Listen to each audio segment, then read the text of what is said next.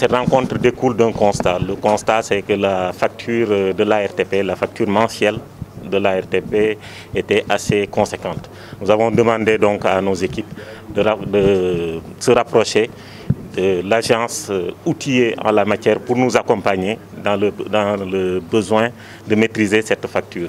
Et c'est de ces rencontres-là qu'est né ce partenariat qui, nous l'espérons, seront bénéfiques à l'ensemble de nos entités parce que c'est un partenariat gagnant à l'ARTP comme à l'agence de la maîtrise de l'énergie électrique.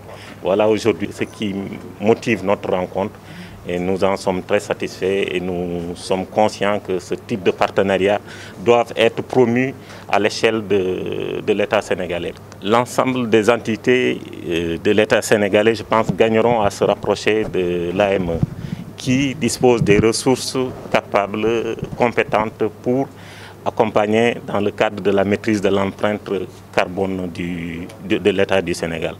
Donc, euh, en nous, c'est ça, ça le sens de notre démarche. C'est en cela que nous remercions le directeur général de l'AME et nous sommes conscients, nous sommes euh, convaincus en tout cas que ce partenariat nous permettra de réduire notre budget, en tout cas ne serait-ce que sur le, euh, notre budget ne serait-ce que sur la consommation de notre facture électrique. L'ARTP a fait appel à travers son directeur général au service de l'AME pour un accompagnement dans l'efficacité énergétique, la sobriété énergétique, bref, l'utilisation rationnelle de l'énergie. Comme je l'ai dit, je pense que l'énergie constitue un levier clé pour le développement et donc la maîtrise de ces coûts devient de plus en plus indispensable et nécessaire.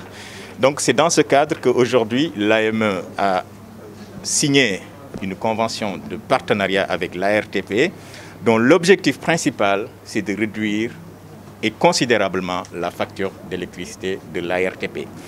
Mais au-delà de ça, d'accompagner l'ARTP à travers des audits énergétiques pour avoir des systèmes plus intelligents, plus performants et beaucoup plus économes en termes de consommation d'énergie.